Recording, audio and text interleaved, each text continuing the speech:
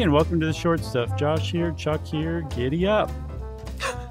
Yeah, we're going to tell you uh, in part about a remarkable young teenager in Tanzania in the 1960s. And his name was Erasto Mpimba. Is it Mpemba? It's Mpimba. Okay. The reason why we're talking about Erasto Mpemba today is because he was a pretty remarkable kid. He stumbled upon, I guess you could say, rediscovered Mhm. a concept that just baffles physicists today because it doesn't make any sense. It may violate the second law of thermodynamics. And um, it ended up being named after him because he was a persistent little cuss who made this observation and, and just kept going until he finally got the ear of somebody who could help him try to figure it out. You know, the first law of thermodynamics is you don't talk about thermodynamics. Very nice.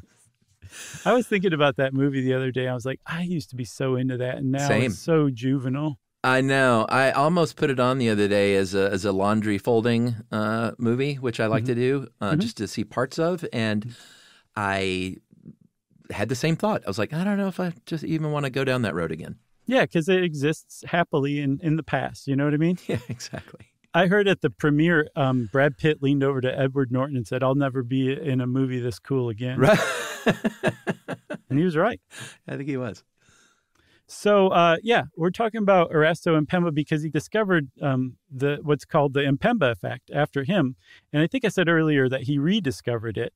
Um, it was first noticed by Aristotle, or at least it was first written about all the way back to Aristotle. Um, medieval scientist Roger Bacon mentioned it as well. So did um, the Enlightenment philosopher Rene Descartes.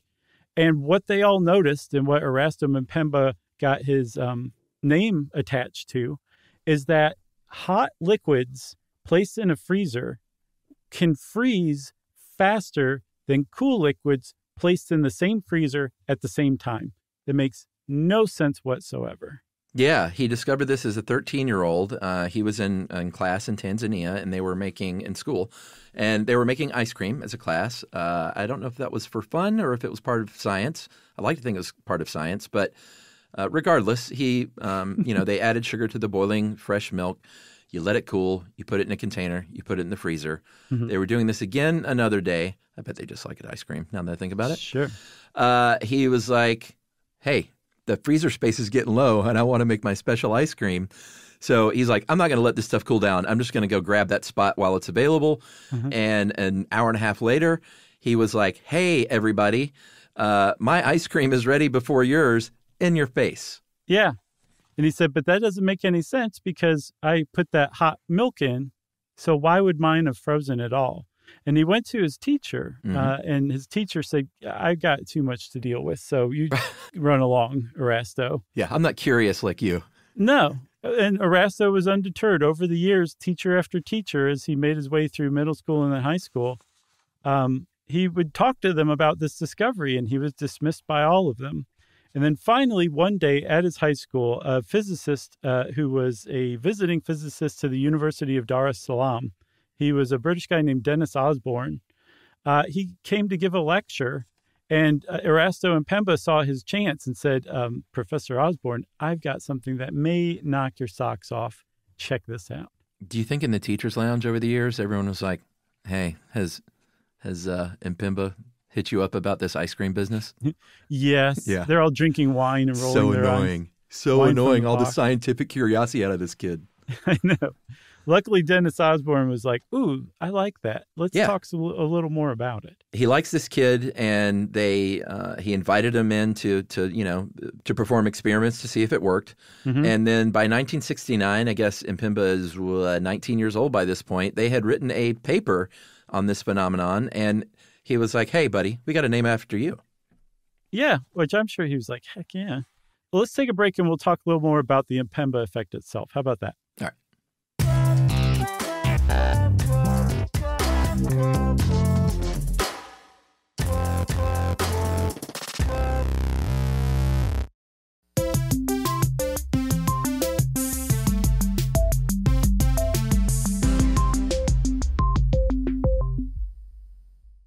Okay, Chuck. So wh- the reason that the Mpemba effect is so strange is because, according to the laws of thermodynamics, um, molecules that are moving much faster um, than other molecules in, say, like a hot liquid and a cold liquid, Mhm. they take longer to slow down.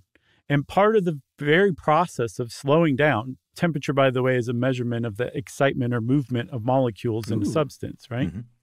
Part of the process of slowing down is that it takes time.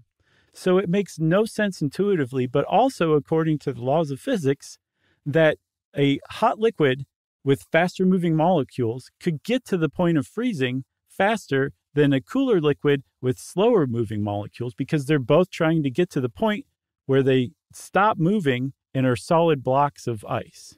Yeah, it would just make intuitive sense that something colder and closer to that temperature would do it faster. Mhm. Uh, you can also observe this if you go out and, let's say, you live in Minneapolis and it's January, and you go outside with a cup of warm water and throw it into the air.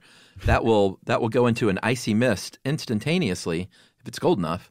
Uh, if you do that same thing with a glass of cold water, that won't happen. No. Yeah. Are you serious? Yeah. Are you pulling my leg? No, I mean that's. I saw a video of it, and that's what they say is another example. That's really great. I, don't have know that. experience because it doesn't get that cold here. Very cool, though. Uh, no, instead, you can fry an egg on a sidewalk. Am I right? Yeah, right. So, I guess essentially a good analogy that I came up with, that's why I think it's good, is that Erasto Mpemba eh, basically found that there's a foot race between um, like hot water and cold water, and that, uh, well, I screwed up my analogy already, Chuck. Do you want to take it? Uh, I believe that uh, there's a foot race, but one racer has started sooner, yet the one behind gets there quicker, Mhm. even though they should supposedly be running at the same rate of speed. This happens at Braves games. Uh, oh, and you know what? It's What? Mr. Freeze who they're racing. Isn't that funny? Oh, wow. So they're clearly fans of the Mpemba effect. There's a track, uh, clearly a track guy uh, dressed up as Mr. Freeze, Mhm. and they let a, a person from the stands. They bring him down in the outfield, and they they give them a, a pretty long, like a quarter of the distance head start, Mhm. and then Mr. Freeze starts, and you almost always lose. But a uh, a young woman the other day beat Mr. Freeze, and it was.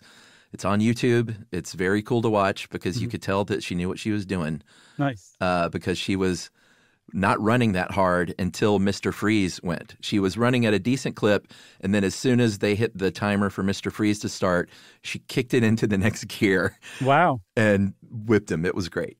That's awesome. I remember they used to have giant hammers and rulers and stuff Oh, they sponsored by still Home. Depot Racing. Yeah, they yeah. have multiple races at home uh, um, Braves games now. Yeah. They got Mr. Freeze, and they have the the Home Depot hammer drill. Uh, I can't remember what the third one was. So silly. I got to go this year, man. Yeah, I've been to a few games. Well, let's go. They stink. Wha oh, really? Oh yeah, the Braves are terrible this year. It's I haven't a been following them. very big disappointment. But you know, what are you going to Oh, do?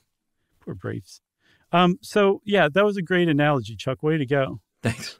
So it turns out that answering the, this weird problem has been trickier than you'd think, trickier than physicists thought, Yeah. because some physicists conducting experiments on the Mpemba effect have shown, yep, this is definitely a thing. Other experimenters have not turned up any results, and they're like, no, I don't know what you're talking about. And so the fact that it happens under some cases and not others is not only even weirder, it also suggests to to dissenters, people are like, there's no such thing as the Mpemba effect, Yeah. that there's some variable that some experimenters aren't taking into effect. It could be different mineral contents in the water. hmm It could be convection cells in the warmer water are causing it to freeze faster. It could be that our freezers work harder on warmer air than cooler air, so it'll freeze faster in a freezer. They don't know, but they're like, there's no such thing as the Mpemba effect. It's really just some uh, mistaken variable in in the experiments. Yeah, for sure. Uh, and there's also a long argument about this about what freezing first actually means. Like you have to, if you're going to do something like this, you got to agree what that when you're technically freezing and, who- and who got there first. Um, it's not like Mr. Freeze running across that finish line and hitting his chest to that tape. No, That's obvious. So you got to ag- agree on freeze first. Uh, is that like, hey, is it the first one to reach 32 degrees Fahrenheit, zero degrees Celsius. Uh, if it starts to form ice, ice crystals, if it's good enough to put in a cocktail mm-hmm. without getting too watered down. Uh, and I'm going to let you take MIT's engineering school response because it was very, uh, actually, guys, and not yeah. at all helpful. It totally was. There was a blog post by them that basically said um, all liquids freeze at the same rate once they reach the freezing temperature. So no liquid can technically freeze faster than another. And you got the impression they really thought that they had solved the Mpemba effect. Yeah, that's not what we're talking about, MIT. No, the rest no one is world, talking about that. No, the rest of the world is like, nope, we're talking about if you put a warm cup of water and a cool cup of water in a freezer at the same time, not once what right. happens once they reach freezing. so uh, if you even if you say, okay, we're going to talk about like we're going to use as the milestone or the finish line, which of these things gets to 32 degrees Fahrenheit or zero degrees Celsius first, the freezing point. Yeah. Um, there's still a big discrepancy in how you track this kind of stuff. Yeah. Um, and different experimenters have been using essentially what you call like different stopwatches, even though mm-hmm. they're not actually standing there with a stopwatch. And it wasn't until some researchers from Kyoto in 2025 basically figured out a, a measurement standard that any lab could use to test the Mpemba effect. So now all of these experiments are going to be comparing apples to apples for results. And hopefully we'll get to the bottom of it. Yeah, for sure. Uh, this is the part that I think is the coolest is that some researchers out there uh, are like, hey, I guess in principle, I agree that we're not noticing some variable, but we feel like we've accounted for all the variables, and perhaps there might be some unknown variable that we haven't discovered yet. Yeah, like some force or effect in nature that's just undiscovered that we're seeing it. in the Mpemba effect. Yeah, I love Pretty that cool. too. So you might say, like, okay, aside from just science being curious and wanting to know the answers to everything, like, what's the point in studying the Mpemba effect? And I was very surprised to find that there's a lot of reasons to understand this, that just knowing how fluid dynamics uh, or systems under fluid dynamics um, relax or cool Mm-hmm. Um, it it would actually open up or overcome a huge hurdle that um, quantum computing is facing right now they have to figure out how to get qubits, which are the quantum computing version of ones and zeros in traditional computers, back to their ground state as fast as possible. So if you can figure out how something like molecules stop moving faster than cool molecules, hot molecules, um, you might be able to apply that to quantum computing, and that would be a huge leap forward for it. Totally.